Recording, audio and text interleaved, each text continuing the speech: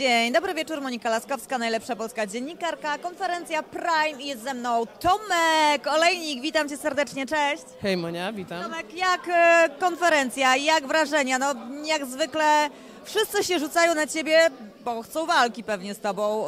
Jak się czujesz? No właśnie tutaj troszkę jak w się czułem przy tych zwierzętach, bo, bo każdy po prostu tam krzyczał, próbował się pokazać na siłę, jaki to on nie jest. Dla mnie to jest niepotrzebne takie na siłę. Ja wolę po prostu natura, naturalnie, jak ktoś wychodzi, niż każdy próbuje po prostu do mnie się przyczepić, żeby po prostu zaczepić mnie, żeby mieć walkę, jakiś zasięg dostać. To jest dla mnie słabe coś takiego. Też wujek Samozło doszło do Dla rękoczynów. mnie to już w ogóle jest jakaś abstrakcja, bo ja do chłopa nic nie mówiłem. Ja podchodzę do Robaliniego, który leży na glebie, bo po prostu lubię jówko i go odciągam, żeby mu tam nic nie robił. Odciągam go, po czym kurwa wbiega do mnie wujek samozło, który mnie z partyzanta zaczyna uderzać. No dla mnie to jest jakieś nieporozumienie. Później kolejny raz idę normalnie, gadam z nim, a ten partyzant też mnie uderza. Dla mnie on nie ma jakiegokolwiek honoru, bo robiąc takie rzeczy to jest człowiek bez honoru, który po prostu nie umie się zachować, nie zna jakichś zasad, bo dla mnie walenie z partyzanta osoby, która nawet cię nie dotyka, odciąga kogoś, żeby mu się nic nie stało, to jest dla mnie po prostu słabe zachowanie w chuj. Oprócz wujka Samozło, kto jeszcze cię dziś najba- najbardziej zdenerwował, zirytował na panelu? No kamerzysta oczywiście, ale to norma, bo go nie lubię. No i tak poza tym to jeszcze ten w niebieskim był taki kurde też irytujący. Nie wiem w ogóle kto to jest, skąd się wziął. Nie wiem, nie wiem, nie wiem nawet jak on się nazywa. Taki w niebieskim dresie siedział. No. E, Tomek, powiedz mi, e, walczyłeś niedawno na Fame. E, jak wrażenia? Jak się czułeś? Która federacja według Ciebie jest najbar- najfajniejsza, jeżeli chodzi o zasięgi, o pracę, o, czyli o walki, organizację? Wiesz co, no jestem, jestem w Fejmie i w Prime. W Prime mi się podoba, bo jestem jakby od początku, znaczy w Fejmie byłem od początku, później poszedłem do Prime'u, do Prime, Prime mi dał tę szansę. Mam praktycznie, można w sumie praktycznie, walczę tutaj co galę chyba od drugiej gali. Jakby oni popchali moją karierę do przodu, więc im jestem wdzięczny za to, że po prostu mam oferty e, z różnych federacji, walczę na fejmie. E, Na fejmie też mi się fajnie działa, no i tam nie przestajemy na tych walkach, co są. Na poprzedniej walce niestety nie udało mi się wygrać, ale to przez to, żeby zawodnik był lepszy i też troszkę, no, zostałem załadowany pod ciul, no bo podobno nic nie trenował, a okazało się później, że 6 lat boks trenował, gdzie ja nic nie trenowałem, to jednak e, wygrał, bo był lepszy. Też może ta walka by dłużej trochę potrwała, bo tam dwie sekundy przed pierwszą rundą sędzia po prostu przerwał walkę z powodu po prostu mojego czodołu, że mi pęknął i byłem po prostu za bardzo obity, to przerwał.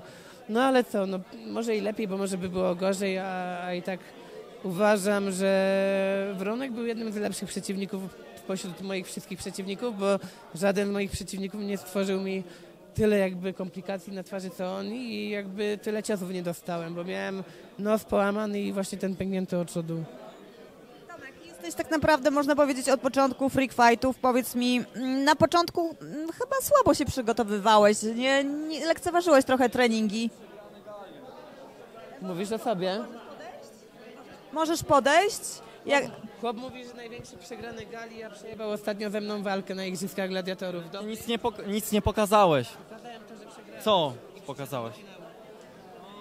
nie, nie posraj się. To jest właśnie przykład osoby, o której ci mówiłem, typowo atencyjnej. Bo dostałem mikrofonem od jakiegoś debila, który nie umie się zachowywać. Nie bądź, no, chłopiec do bicia. Ze sprzętem właśnie ktoś wlatuje, a on jeszcze się cieszy. Macie, typa, macie tutaj przykład... Ma...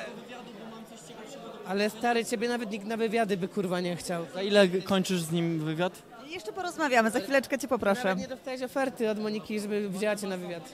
Dziękuję pięknie. Bonding Warszawa, polecam. Właśnie to jest przykład osoby, o której wam mówiłem, że przyczepia się o nic, żeby się tylko przyczepić i zaistnieć. Typowy atencjusz.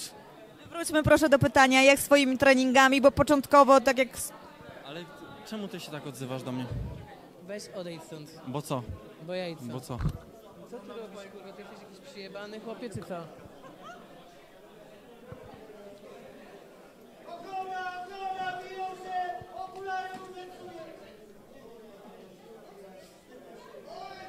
Monika, czemu zawsze na twoich To nie ja. To ja nic nie robiłam. To nie ja. Nie udzielaj z nim wywiadu, on kurwa jest, wiesz, chuj do szczania. Ja nic nie mówiłam, ja nie podpuszczałam tym razem. jakiś jebnięty, stoję w ogóle, daję tu, no i co ty robisz, kurwa, pajacu? Właśnie to jest przykład tych typowych cymbałów, którzy są jebanymi atencjuszami, nic nie wnoszą i próbują się przypierdolić o nic. Widzieliście, kurwa, sami na własne oczy, jak te osoby się zachowują i co robią? Ja się zastanawiam, czy, byleby atencji dostać trochę. No kurwa, co to jest? czy ja przyciągam ta... E, nie, ja nie...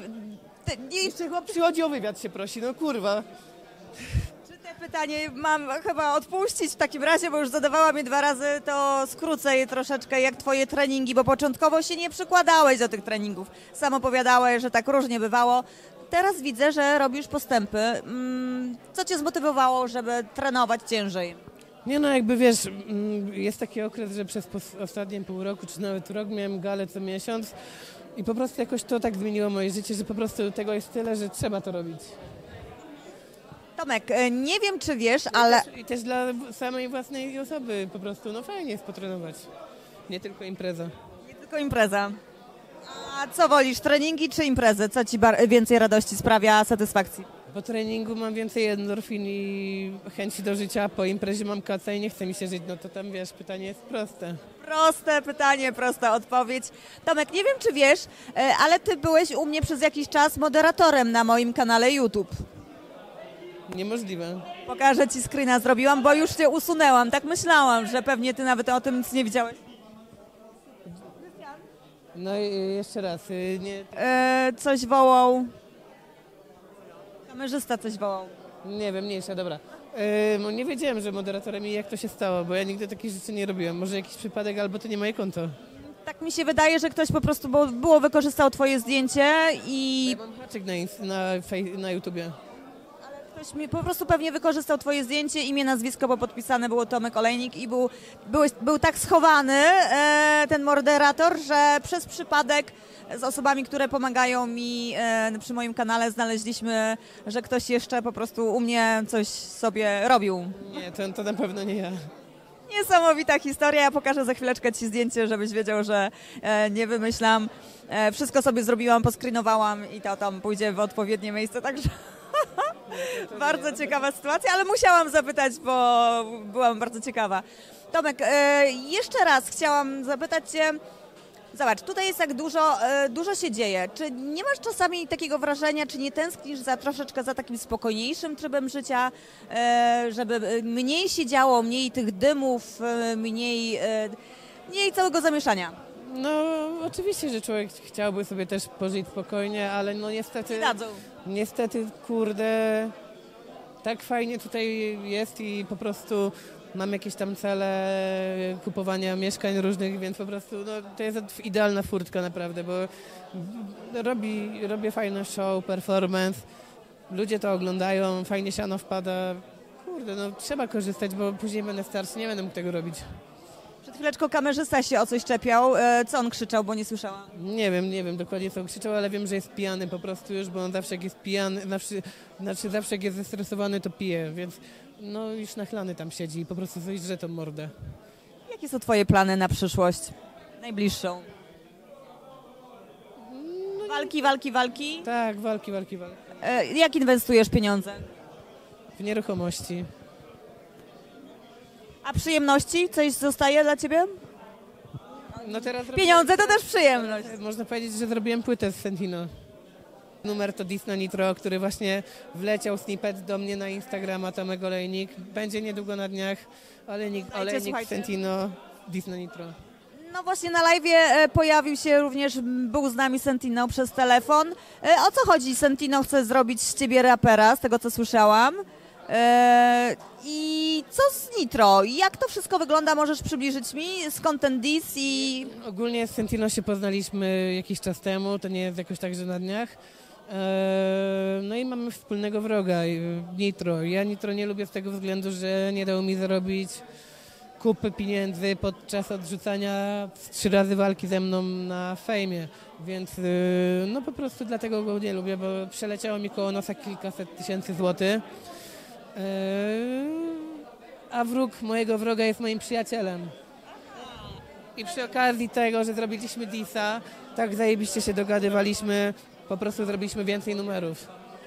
I bardzo mi się to podoba, że ludzie się jednoczą.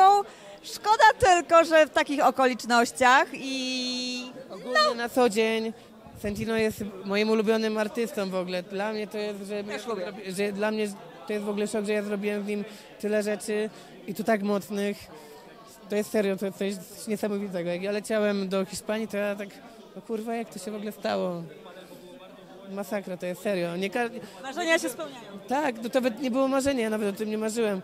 Dużo osób, nawet topowych artystów, ma, nie ma możliwości nagrania z nim piosenki, a ja poleciałem sobie do Hiszpanii, spędziłem z nim zajebiście trzy dni, nagraliśmy dobre numery, fajne klipy, więc kurde, no czegoś więcej. Sentino, ja też niedługo lecę do Hiszpanii. Tomek, e, za kilka dni pojawi się już utwór. No, nie powiem, że za kilka dni, za niedługo. Na razie macie przedsmak na moim Instagramie Tomek Olejnik i musicie wyczekiwać, ale będzie grubo i to nie będzie tylko jeden numer. Oglądajcie social media Tomka Olejnika i Sentino i proszę dzwoneczki, subskrypcje, komentarze. Dziękuję serdecznie Ci i czekamy z niecierpliwością na nowy kawałek. Będzie się działo.